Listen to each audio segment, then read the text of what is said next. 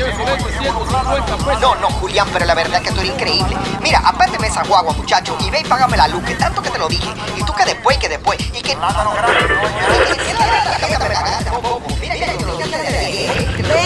Julián, dime, ¿te va a complicar? No, hombre, no. Con Reserva tú pagas la luz, la tarjeta, transfieres, igualito como en tu banco. Y todo esto sin fila y sin gastar tu internet. Con tantas soluciones a mano, ¿te va a complicar? ¿Me copia? No te compliques y utiliza los canales Banreservas, tu banco fuera del banco. Banreservas, el banco de todos los dominicanos. Preparado para recibir en este programa el más Roberto Luisín Jiménez. Bienvenido. ¡Eso!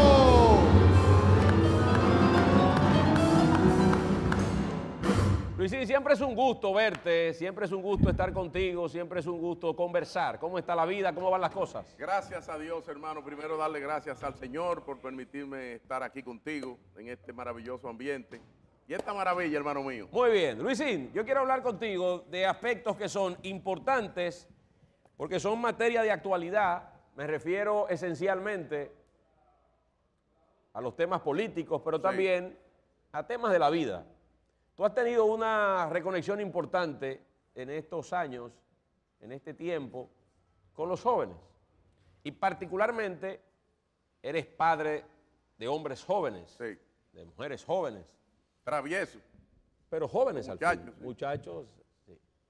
¿Cómo logras tú, Luisín, ese nivel de conexión con una segmentación que en la primera etapa de tu carrera en los medios de comunicación no te siguió y que tiene una conexión por vez primera contigo y se encuentra con algunas frases, con algunas expresiones, con algunas consideraciones sobre la vida y la gente reacciona de manera muy positiva dándote seguimiento? ¿Eso se debe a qué? Eso se debe a que yo decidí, en vez de criticar a la juventud, entenderla. Sí. Claro, no es posible que yo piense que el joven debe ser como fui yo en otras épocas, donde no había internet, donde no estaban las facilidades. Entonces, la juventud hay que entenderla, incluso entenderle su rebeldía. Muchas de las cosas que tuve hoy, excesos, son producto de rebeldía. Sí, Porque las épocas traen cosas buenas y malas. claro. Y entonces la juventud, yo decidí entenderla, hablarle en su idioma y tratar de frenarle un chin, porque es que el joven cuando consigue unos cuartos se pone loco. Por ejemplo, un tipo como el doctor Natra, que ya tiene su dinero, Lejos, que rico, tiene un swing lejos. Rico, lejos. A un tipo como el doctor Natra, ¿qué tú le dices, Luisín? Tú sabes que el doctor Natra es un individuo especial. Sí, Sí, porque es noble. Tiene el- el- el- la nobleza es una de sus características. Sí. Y es que es noble, está muy cerca de Dios. Y entonces yo no lo veo cometiendo excesos. Esa cuenta de banco va aumentando y él va bajando. Él le va bajando. Si se monta en esa ola, ¿eh? se complica. se complica. Entonces lo veo que es muy selectivo con las femeninas. También. Sí, Usted porque la- las mujeres te meten hondo. Te mete... Ese, ese concepto de las mujeres te meten hondo, ¿cómo así? Bueno, déjame decirte una cosa. Un hombre como el doctor Natra se busca una mujer exigente. Sí. Por un lado es bueno porque el doctor Natra necesita una mujer que lo llame a las 7 de la noche. Y le diga, Ven para tu casa. ok, Porque el doctor Natra anda con una tarjeta de crédito de un millón de pesos. ok. Que si no encuentra quien lo frene un chin, puede ser que se desboque. Eh. Entonces, necesita una mujer exigente, pero a la vez que la mujer que él busque no le cargue los problemas de la familia Eh. de ella. Ajá, ¿cómo así? Ay, mi. Cuando tú te sientas con esas mujeres, te dicen, mamá tiene un problema en Santiago. Tú dices, sí, pero espérate, llévame al paso, que la mamá mía, la mamá mía también tiene problemas y ella no me dice nada. Entonces, hay que manejarse, hay que manejarse. Nadie, nadie se salva de una tía loca, profesor. Nadie. De una tía loca. ¿Cómo de una tía Sí, loca? siempre hay una tía loca. Sí. Sí. Tú tienes, Que la crió, que la crió, que crió a uno. El dominicano es el único que tiene tres mamás, Sí. dos tías, siete tías. ¿Por qué eso? Porque lo cría uno, es la mamá del otro y si- siempre hay compromiso como con 50 gente. Por eso es que se le acaban los cuartos a los tigres. Siempre. Siempre hay compromiso. En Nueva York hay dos tías que te dieron comida una vez. Luisín, tú eres un hombre eh, apasionado del deporte.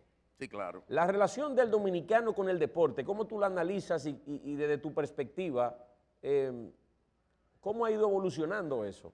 La relación de una familia teniendo un, in- un integrante vinculado al deporte, el país que tiene un buen desempeño Pero en de política deportivo. también. También. Sí, en política y el deporte tienen muchas cosas en común. ¿Qué tienen en Hay común? robadores de base. Hay un grupo que roba y no lo atrapan. Ok. Esos son los que llegan a segunda. Y hay un grupo que roban y de una vez le echan mano. ¿Por qué? Porque no salen con el lanzamiento. Ok. ok. No saben salir con el lanzamiento. Ok. Hay bateadores que cobran como jonroneros y lo que dan es hit. Sí, En también. política se ve eso. Se ve eso también. Hay muchos jugadores buenos que están en el banco. Ujú. ¿Entiendes? En política Y eso pasa en la política y el deporte. hay gente que se sacrifican, Claro.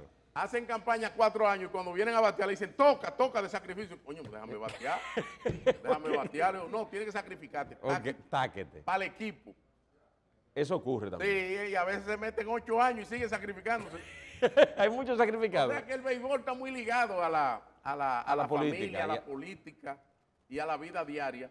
Por eso es bueno esa relación de los scouting report. Lógico. ¿Tú Eh, eh, Luisín, tú fuiste un hombre que en algún momento confrontó el poder. Eso no es tan, tan seguido, eso no es tan regular. La gente lo piensa antes de hacerlo. Y bueno, tú te has ganado hoy gente que te quiere mucho, pero gente que te ataca, diciéndote que tú has sido un tránfuga, que tú te has ido de un sitio a otro. Oh. ¿Cómo tú reaccionas ante eh, esas críticas? Lo que pasa es que la gente no maneja información. Yo pasé al PRM en el 2015. Recién fundado el partido. Exactamente, yo pasé al PRM. Yo fui diputado del PRM, la gente no se acuerda, y fui candidato a diputado por el PRM en el 2016. ¿Entiendes? Sí. Yo me voy en el 2015, el PLD en el poder, ¿Y por porque qué? estaba viendo unos abusos que no, no lo concebía. Y hoy me da cierta satisfacción Sí, ver amigos que abusaron alegando abuso. Sí. Si hay una cosa que me está rejuveneciendo, Sí, ¿qué, qué te rejuvenece, A mí me rejuvenece Ajá. ver abusadores alegando abuso. No me diga. Ay, sí. Eso lo pone a usted nuevecito. Ay, sí, sí, eso me limpia. me- Sí. Porque yo se lo advertí mucho que el poder no es para abusar. Lógico. Y si en este gobierno hay alguien abusando, que se preparen porque esto tiene un fin, esto tiene un final. Y los gobiernos y el poder no es para abusar, es para servir. Lógicamente. Cuando yo te veo a ti recorriendo el país, sacrificando tu salud, sacrificando tus empresas, porque tú eres un servidor público. Lógicamente. ¿Me entiendes? Es así. Porque cuando tú llegaste al poder, la comida no te llegaba de Cholbán. No. ¿Cómo de Chorman? De Cholbán, así que era a veces. Era- De piconazo. que no a ti te llega de aire. Que no era, que no era, que no era de que échame la carne a mí, salseame a los muchachos. Sí, no. no, así no. No, por ejemplo, cuando tú llegas al poder, tú no comías plato del día. No. No, ya te traían la carta. Yo lo- Pero hay gente que llega al poder así, Luisín, con, con un plato del día. Por la mayoría. Y después se le olvida. Entonces, entonces tú dices, Luisín, que... El abuso es malo, Robertico. Malo. Malo, malo, claro. Tú impones candidatos. ¿Tú hacer- sientes que, tú sientes que eh, eh, te desconsideraron en ese momento cuando tú estabas en el PLD? Tú nada más tienes que saber una cosa. Sí. Los que pusieron en una diputación por mí, ¿dónde están y dónde estoy yo? Tenían arrastre. No. Entonces, ¿cómo tú sacrificas a una persona que tiene cierto nivel de popularidad, que tiene cierta conexión con la juventud, como bien tú señalas, Lógico. que tiene una trayectoria limpia, por poner un primo tuyo? Pero si la política es así. Entonces te desconsideran. ¿Tú sientes que, que te maltrataron? ¿No, no, no valoraron, Luisín, lo que tú representas, lo que representabas en ese momento y esa, en esa coyuntura política? No, y además se pusieron a imponer candidatos, pero no me lo hicieron a mí solo, se lo hicieron a muchísima gente. En un momento ustedes mismos fueron víctimas de eso, poniéndole gente que no tiene condiciones por encima, que después el tiempo señala que no tenían condiciones. El tiempo lo señala, porque es que la política no puede ser por capricho, Robertico. ¿Por qué entonces mucha gente asume que tú tienes un vínculo afectivo y personal con el presidente Abinader y la gente lo asume como que eso es de ahora? No, no, no, no, no, no, no, no, no. Déjame decirte que, déjame decirte que en los años finales de los 70, 80, las personas pudientes de este país mandaron sus hijos a estudiar fuera. Yo, gracias a Dios, pertenecía a una de esas familias. O pertenezco a una de esas familias. Mi papá me manda a Georgia. El Abinader lo mandan a Cambridge. Yo le llevo unos años, pero lo mandan a Cambridge. Y las familias se conocen hace mucho tiempo. y le prometí al presidente Abinader que cuando él fuera candidato yo lo iba a acompañar. Por eso en el 2015 me voy y en el 16 perdimos. Lógico. En el 16 perdimos. Se fue cada quien para su casa. ¿Qué ganamos ahora? ¿Qué quieren que yo haga? ¿Qué, qué quiere que te Al lado del hombre. ¿Y por qué eso? Pero ¿por qué se molesta? ¿Por qué se molesta, Luisín? Ah, pero que la gente es así. Porque no conoce. Dice, el- yo oigo gente diciendo, Luisín ha estado con todos los gobiernos. No es mentira. No.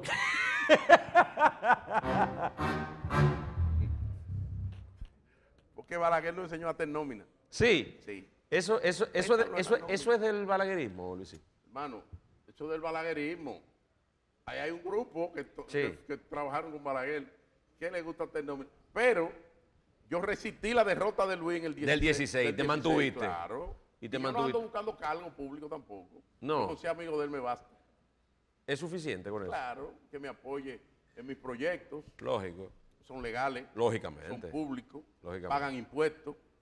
Y verlo conducir un país que a mí, con mis empresas privadas, mi área de, del turismo, mi área de los bienes raíces, me beneficia porque cuando el país está en paz, cuando el país va en progreso, pues yo vendo más, genero más, y esa es la idea. Eh, eh, Luisín, eh, en este contexto político, antes de darle paso a los muchachos que están ahí, pero en este contexto político, Tengan cuidado, esos tigres, que Vemos- yo no voy a estar creteándose Sí. para preguntarme vainas raras. sí, cuidado. Pero en este contexto político vemos ya las definiciones de las candidaturas presidenciales.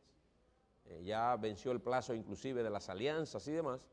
Y de cara al 19 de mayo tenemos al Partido Revolucionario Moderno con el presidente Luis Abinader y una amplia coalición de partidos. Eh, está el expresidente Leonel Fernández también con unos partidos y una coalición. Y está el candidato del Partido de la Liberación Dominicana, Abel Martínez, solamente en la casilla 2 del Partido de la Liberación Dominicana. En esa configuración político-electoral de cara a mayo, ¿cuál es tu pronóstico? Mi pronóstico es que a Danilo se le está dando todo como él lo Eh, planeó. ¿Cómo así? ¿Pero cómo así? ¿Pero cómo así? ¿Cuál fue la planificación de Danilo según tú? que gana Luis en primera vuelta, Ajá. Leonel alega fraude y Abel desaparece.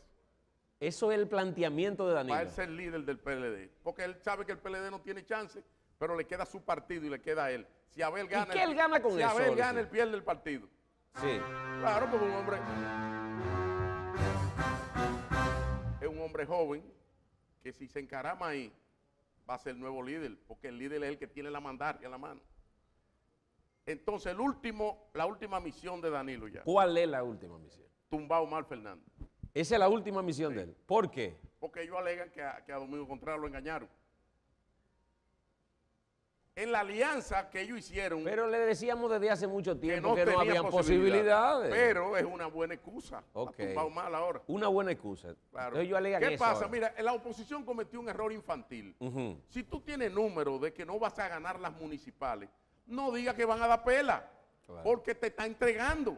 Di, no es fácil fajarse con el poder, vamos a ver lo más que hacemos, tenemos que luchar para adelante, pero no diga que, como dijo Leonel Fernández, le vamos a dar una pela en las municipales porque la alianza rescate. ¿Cuál alianza rescate? La alianza rescate es la única alianza que hay que salir a rescatarla. Eh, Entonces, complétame. el- el- Un tío mío tenía una grúa, Ajá, un tío mío tenía una grúa. sí. para coger los vehículos que se quedaban. Lógico. Y la grúa de él se quedaba cada tres días.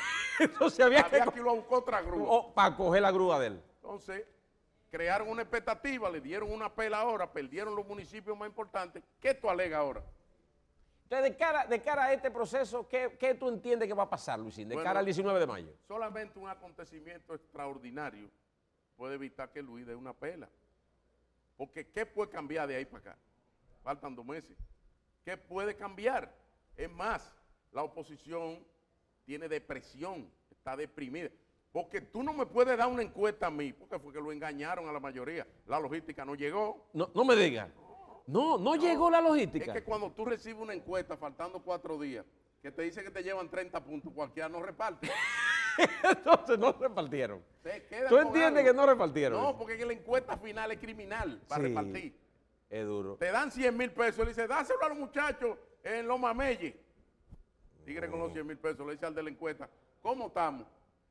Si matamos, empatamos. No. así dice. Sí, Y así fue que dijeron. perdimos las elecciones. Entonces tú no puedes crear una expectativa de que tú vas a terminar pegado y perder por 30 puntos. Perdieron por 30 puntos, por 25 puntos, por 18 puntos. Miren Santiago, 24 puntos. Santo Domingo Este, 22 puntos. Carolina, 30 puntos. Guzmán que estaba celebrando y tuvo que frenarse. 12 puntos.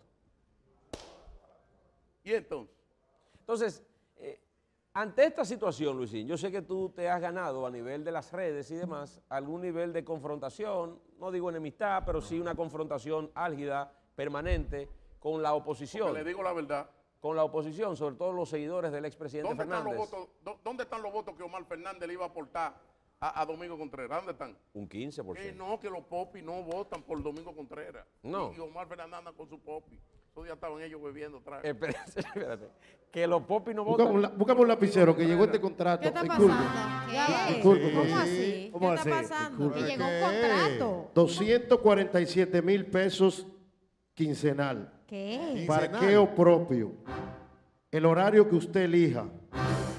Puede llevarse el crew de personas a trabajar con usted, lo que usted ordene y mande. Un lapicero, por favor, para que el hombre firme por aquí. de ¿Pero dónde ¿Qué es eso? ¿Dónde, ¿De dónde? dónde, dónde, mariachi? Edificio rojo. Edificios rojos. Oh, ¿Cómo así? ¿Pero para cuáles de los programas? Tómese, tómese su ¿Para tiempo. cuáles de los programas? Tómese su tiempo y firme. No, Se piénsalo. lo voy a pasar a mi abogado para que discuta los términos. Ok, ok. Ah, bueno, bueno. Están llegando las propuestas, eso es lo importante. es imposible. 247 quincenal. El doctor Natra, nada es imposible. Nada imposible. Lo único que yo me he quedado esperando, y la oferta mía no va a llegar, doctor. Ah, porque usted también quiere una oferta No, de allá, del edificio rojo. oferta. Yo, La oferta suya la está bloqueando el doctor que yo no Natra y usted no lo sabía. El cara Hay cara, ¿cuándo domingos yo es? estoy libre. Robertico, tú estás caro, ¿Eh? No, bueno, yo estás carito. no, yo no hago nada de eso. Yo no hago nada de eso. Pero do- doctor, el doctor quedó en, gestionarme eso. Un cara ¿Qué? a cara con el doctor, claro. Lo ¿Tú que, te el, quieres llevar al profesor para allá? lo que el profesor no sabe es que el mismo doctor es que lo bloquea. Le dice, no existe.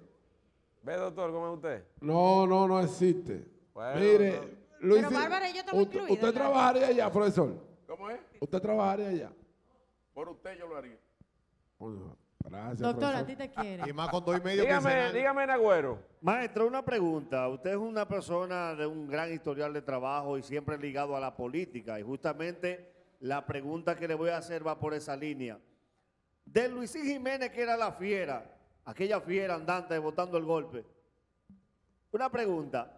Si, po- si pudiéramos comparar la potencia de hombre con un partido político, ¿cuál partido político sería Luisín Jiménez al día de hoy?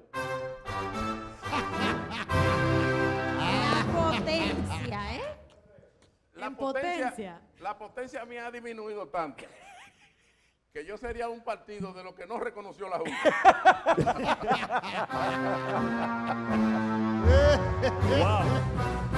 En el caso de nosotros no llegamos ya a partido político, seríamos movimiento un político. movimiento. Un sector externo Criterio. sin presupuesto. ¿Eh? Sector externo sin presupuesto. Un sector externo. Luisín, después de tanto tiempo, después de tanto tiempo, uno de los comeback con más éxito ha sido el suyo, porque usted hubo un tiempo que duró a nivel político, tranquilo y demás, y cuando sale nuevamente a las redes, que sale nuevamente a los programas de radio con Bol y demás, y a su podcast y todo eso, pues es una aceptación impresionante. ¿Qué consejo le, le puede dar usted a esas figuras que están de repente en sus casas todavía y quieran volver? ¿Qué deben hacer para tener un comeback exitoso? Mira, eh, lo que yo te decía al principio, yo creo que hay que entender a la juventud.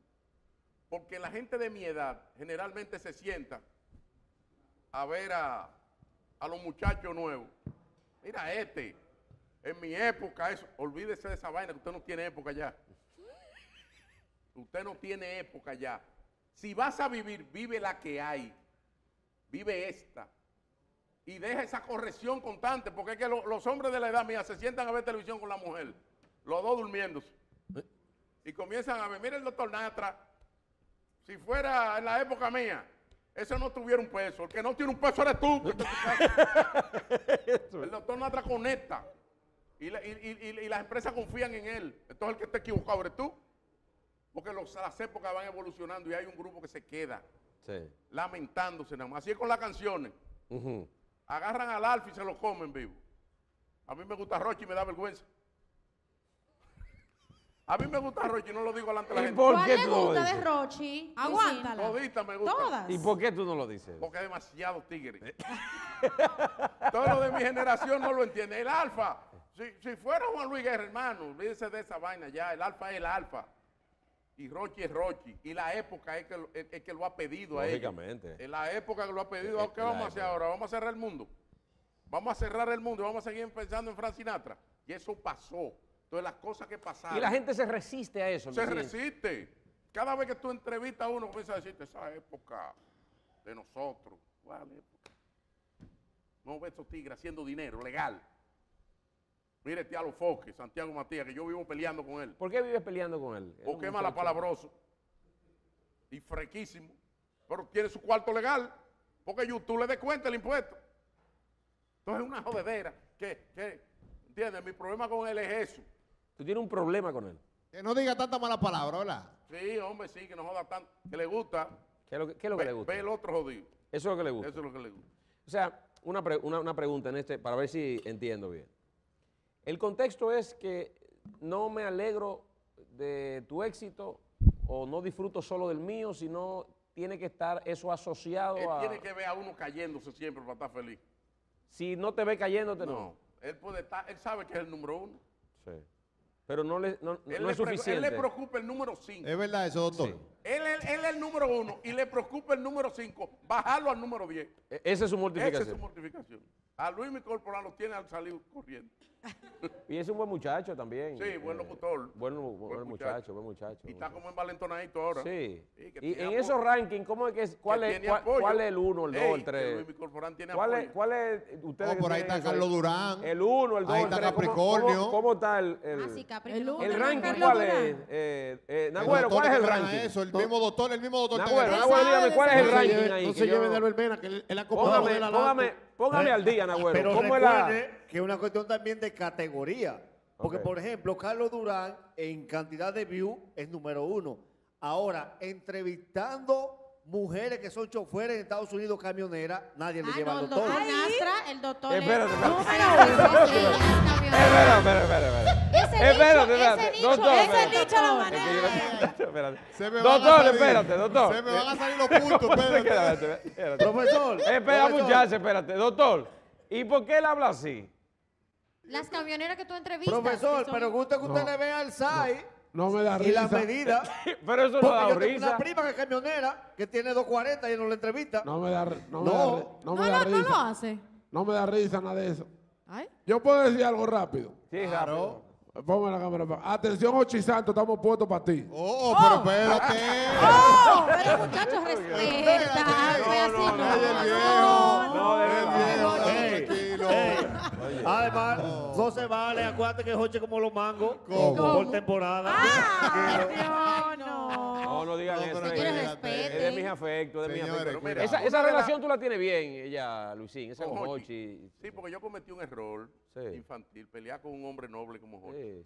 Oye, es un tipo sano, me lo demostró en medio del pleito y me lo demostró después. Tipo que no, no guarda rencor ni anda. Es medio hambriento, tacaño, sí. Bueno, pero mundo esos tiene son- su cosa, ¿verdad? Esos son, esos son de, los, de, de los defecticos que se cruzan, pero es un hombre noble. Sí. Es un tipo con convicciones, bien formado. Y yo cometí un error. Siempre me arrepiento de, de haber herido, en términos de acciones, a un hombre de ese nivel. Mira, parte de, de- de la- de- del- de mi contacto con la juventud, yo se lo debo al Mañanero y a Bien ahí. Bolívar Bolera, a Bolívar Valera. Y déjame decirte por qué. A veces tú tienes la intención de decir cosas y no encuentras el escenario. Yo sí. Los barrios, estos muchachos lo saben, están llenos de tigres geniales, pero no tienen el escenario. A veces tú en tu casa dices genialidades, pero si tú no me traes aquí, ¿cómo, cómo le llega al mundo? Entonces, el mañanero me abrió las puertas y me permite desarrollarme. El Nagüero aporta, Manolo en su momento, eh, todos los muchachos que están allá, Boli es un tipo. Entonces, Yo siempre vas- he dicho que el país tiene cuatro grandes second para que alguien se destaque. Siempre lo he dicho. Ujú. Boli, Robertico, Jochi Santos y Roberto Salcedo. Porque Esos tú son- haces una entrevista y no te quieres destacar tú. No. Tú le permites a los... Hay gente que te entrevistan y los cuentos lo hacen ellos. Yo fui a una entrevista los otros días. No, pero así no. ¿Cómo Oye, yo fui a una entrevista en estos días y el tipo dice, señores, ya vamos a comenzar la entrevista, pero antes quiero decirle, y habló 20 minutos. No. Y cuando me dijo, cuando me dijo, bueno, señores, buenas tardes, cuando me dijo buenas tardes, yo le dije, buenas tardes, dice él, ya no tenemos tiempo para más. ¿Pero qué tiempo vamos a tener, desgraciado, si tú hablas 25 minutos antes? Entonces tú vas al mañanero, eh, ¿cuántas veces? Tú vas, Yo voy ahora los lunes. porque tú lo cambias eso, a veces va No, los no, martes, a veces va los lunes, a veces va los... Boli estratégicamente lo, lo mueve. Yo voy los lunes y tengo los jueves el podcast, que El ha sido un podcast, éxito, gracias un a Dios. éxito. Con Raimundo, Sí. con bregando con Raimundo todavía. Tú, tú estás brigando con Raimundo. Sí, ustedes bregaron con él, ¿eh? Sí, sí, pero no es fácil. Sí, tú sí, ahí- sí. tú ahí. Que a las 9 de la noche en vivo. Y he encontrado ese escenario para llevar todos estos consejos y todas estas orientaciones. Que es importante. Claro, es importante porque es que el muchacho necesita que alguien le diga. ¿Tú sabes cuando un, un muchacho se siente que es maduro ya? Que es maduro. Sí. Cuando tiene 200 mil pesos en una gaveta y se abacota. Ahí, A ahí maduré. Sí. Cuando un muchacho hace un negocio en el día, Sí. sea cual sea el negocio, Estoy se gana 200 mil pesos en efectivo, lo saca, lo mete en una gaveta en su casa, los tigres lo van a buscar, le dicen, vamos a ver otra vez. No, me voy a quedar viendo Netflix. Netflix. Tú un come hombre. Sí. Sí, porque el dinero da ansiedad. Ok. ¿Entiendes? Ese dinero de ahí, si ya no te da ansiedad, es que tú estás madurando. Eso, eso es una señal. Es una señal. Dígame, doctor. En los tiempos de perdón la hora, ¿quién comía más? Del elenco. Pero ¿Cómo- ¿cómo que quién comía cómo más de así? qué? ¿De ¿y qué estas tú hablas? preguntas? Es que Ya no se habla- pasaba habla hambre. una cosa, No habla una cosa de hace 20 años. ¿Que comían qué? Eso quiero yo ¿Cuál saber. Exacto. ahora? Porque Luisín, Luisín comía siempre. ¿Quién comía más, Eh, profesor? Que le gustaban la- los hamburgues, la pizza. ¿Quién comía más, profesor, del elenco? De- ahí estaba Manolo, ahí estaba Irving. Estaba Irving, estaba... Ahí había un ahí- elenco bueno. Boli. Por suerte que ¿Quién eso, se- comía por más en suerte que eso cerró. Irving Alberti. Porque ahí, Irving. ahí iba- un día iba a haber una balacera ahí. ¡Oh! No, no. ¡Qué raro! Yo creo que a ellos le echan la culpa. Ellos se Una tapan época inolvidable, una época Inolvidable. Luisín, retornando a la política, porque ya no vamos a... mm, La sociedad dominicana va a entrar formalmente en los próximos días. Claro. Ni Daricho se le salvó a Irving. Con la proclama de la Junta Central Electoral. Gente que tiene tantos años en la actividad política, ¿tú tienes algo que decirle? Gente que insiste con el poder, gente que insiste en la actividad política, que tienen ya décadas y décadas eh, en un mismo esfuerzo. ¿Tienes algo que decirle a esa gente? ¿Lo mandas a descansar? ¿Lo mandas a que se queden tranquilos? Lo que pasa es que ¿O la política- justificas esa insistencia? La política dominicana, como se maneja esto aquí, la derrota dejan beneficio económico. Sí. O, pero tienen que dejar, porque como una gente puede perder 40 veces y sigue. ¿Eh? y siguen, y siguen, y E siguen. insisten. Claro, lo que pasa es que las candidaturas te permiten recoger dinero.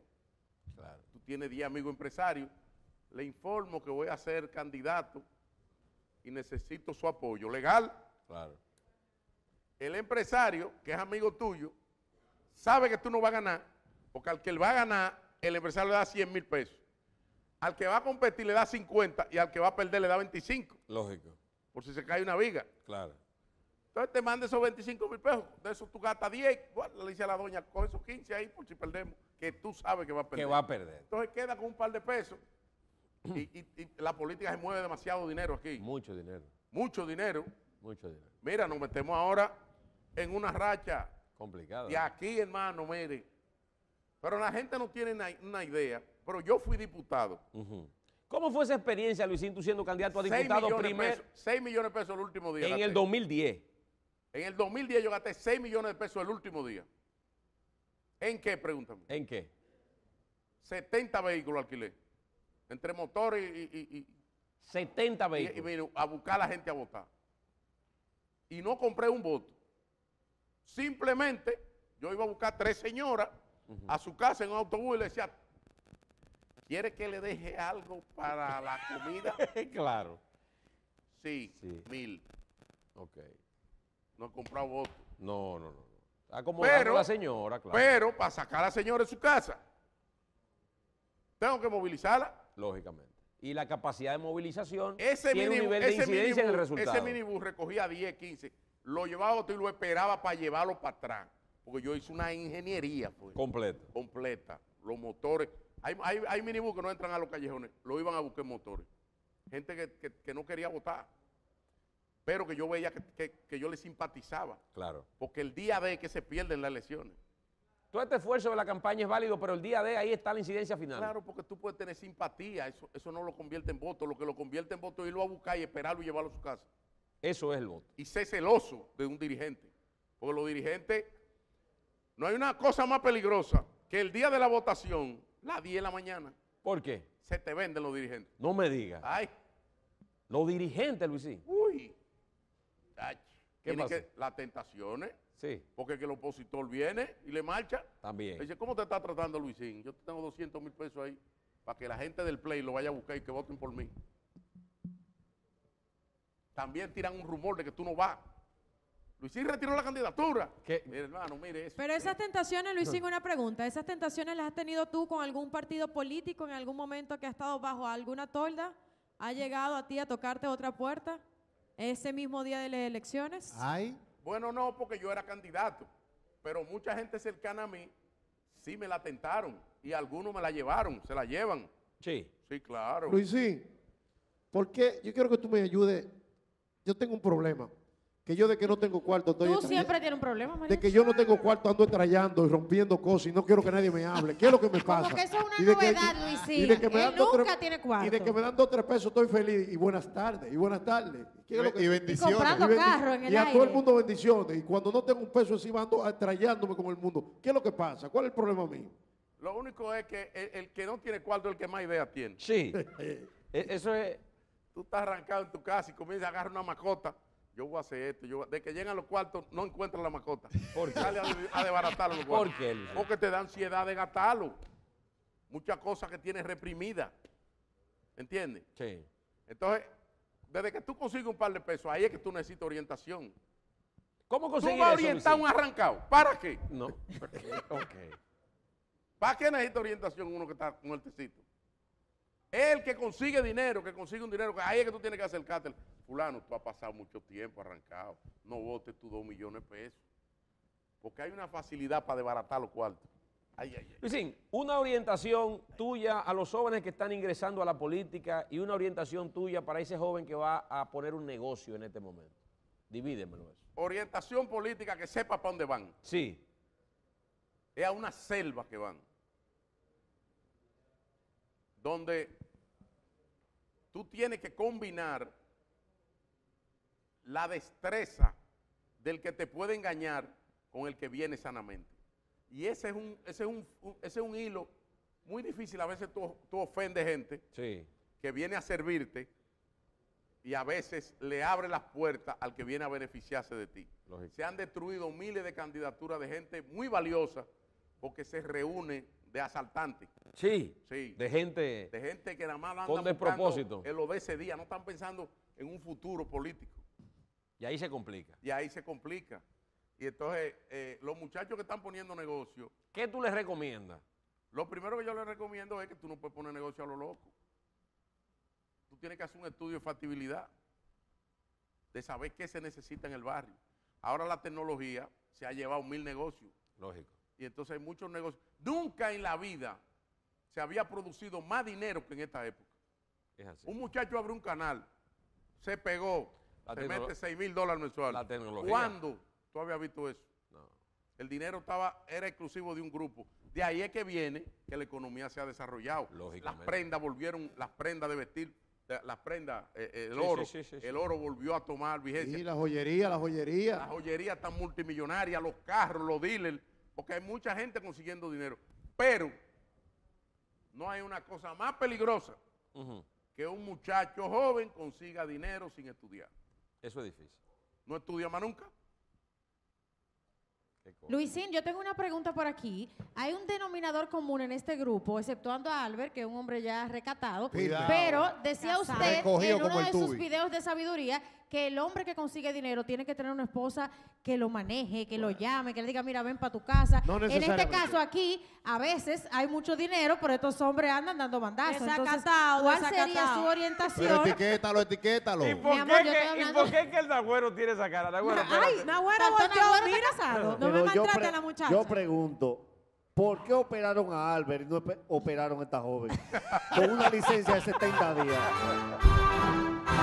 Ahora, no, no, no, no, ahora, yo va- respeto ahora. cuando ustedes hacen sus preguntas, entonces yo tengo la inquietud porque yo soy seguidora de los mensajes de sabiduría de Luisín y él decía, de hecho, hasta Hanley Ramírez compartió ese mensaje, que el hombre adinerado, el hombre que consigue dinero, necesita una mujer que lo aterrice y que Al lo lado, ayude buena. a, a mantenerse en equilibrio. Pero usted Mira. dijo, Luisín, que el doctor necesita un urgente. Mire, mire, ve, echa para acá la cámara. El Pero doctor es es- millonario, es pero que- no es doctor, que urgente, es urgente de verdad. Mire cómo que siempre está llegando aquí los domingos. No es durmiendo separado. Que... Ponte tu lente, no te lleves a la gente que te quiere hacer daño. No, no, no, no, ustedes son unos impertinentes. Pero mira, no hay nada más cierto que eso. Cuando el hombre comienza a progresar, comienza a progresar.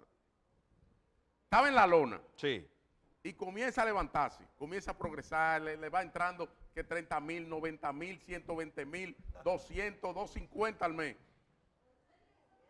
Ya la mujer ya no es la misma. No es la misma. No, ya ella tiene que convertirse en un guardián de ese dinero. Ok. ¿Cómo evita que el tipo lo despilfarre todo en la calle? Operándose. No. No, no es así. No, no, no. No, no Se es así. confunden. Ok. La mujer dice, para que él no salga, yo me voy a operar No. y me voy a poner. No, No, no, en la calle hay más que eso. No es eso. Está bien, pero. Primero Sí. tiene que crearle. No es eso. Primero tiene que crearle un ambiente en la casa. Un ambiente en la casa. Que él se sienta bien. Que él se sienta bien, no lo contradiga tanto, que el que tiene dinero no se contradice tanto. No me diga. Claro. No lo sofoque, que él cede. Sí. No le cuente problemas consecutivos que se te va a mandar de la casa. El tipo dice, tráeme un, tráeme un traguito, le dice a la mujer. Y ella dice, tú estás bebiendo todos los días, pero mujer del diablo, traguito que está en su casa. Sí, claro.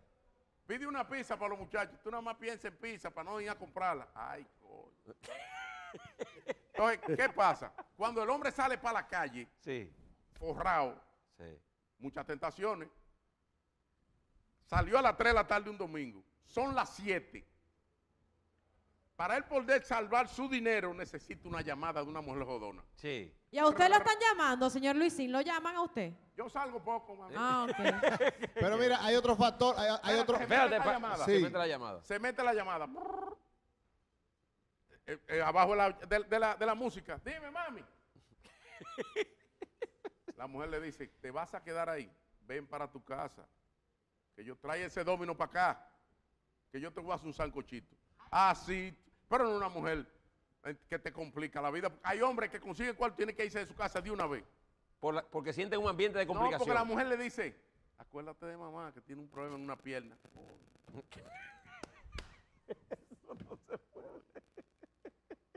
Por Dios. No hay forma. eh. Señores, Está bien, no, Luis- espérate, espérate, que, No, está ese, que está ese factor ahí, pero también está el factor de que tú tienes a esa mujer luchando con ese hombre, pero está el doble voz. Ah, sí, Ay, afinando. no, nunca que- falta un amigo Que hay que gastar ese dinero. Oye, Ah, Hay que gastar esos Afinando. cuartos. Santiago de, Santiago de nosotros, de Granada Santiago. oye. Llévate de mí, no te lleves de Mira. nadie. ¿Qué hacemos con ese grupo enganchado? Sí, Llévate porque hay una mujer que quiere luchar por él, pero hay un doble voz. Ahí está. Una segunda mala, una segunda mala, mírala ahí. Afinando. Santiago es nuestro la tarde de hoy. Oye, dije que vamos para Santiago, los caballeros. Dije que Santiago es nuestro. Ay, Dios. Ah, con esos cuartos nosotros ¿Qué, llegamos hace. ¿Qué hago yo con Papá, mariachi cuando mira, quiera entrarle al doctor? Llegamos así al carnaval, así abierto. Todo el mundo nos va a hacer coro. Con cuartos, esos cuartos tuyos y míos. No, ya Oye, pero el, tuyo y mío, pero él no tiene un peso. Pero el doctor no aguanta Siempre- llegar ni al parqueo. Siempre el segunda voz. Eh. Finalmente, Luisín, que me tengo que ir ya. Finalmente, Luisín. ¿Qué va a pasar aquí el 19 de mayo? Dame tu definición, para yo dejar este, esto grabado y entonces poderlo ver 19 y de confrontarlo. mayo. 19 de mayo. 7 de la noche. Sí, Primer boletín. sí. 59.3. Luis Abinader. 26.4. ¿Quién? Leonel Fernández. Leonel Fernández. 13.2. Abel Martínez. Leonel dice que va para la OEA. que unos hackers se metieron. El algoritmo, vienen las apelaciones. PRM sale a celebrar. Porque yo te voy a hacer una pregunta. ¿Qué se está haciendo para que no le den la misma pela de ahora? ¿Qué tú has notado que ha hecho la oposición Diferente. diferente para que no le den la misma? Siguen en la misma alianza. Ahora se juntaron más. Claro. Más alianza. No tiene sentido. Ya es tarde, hermano. Eso pasará. Ya es tarde. Luisín, Luisín ha estado con nosotros. Gracias como siempre por acompañarnos. Me voy a la publicidad y cuando regresemos más de este programa, ahí está Boli, que viene con su segmento y tenemos cosas interesantes. Mantenga, mantenga la sintonía.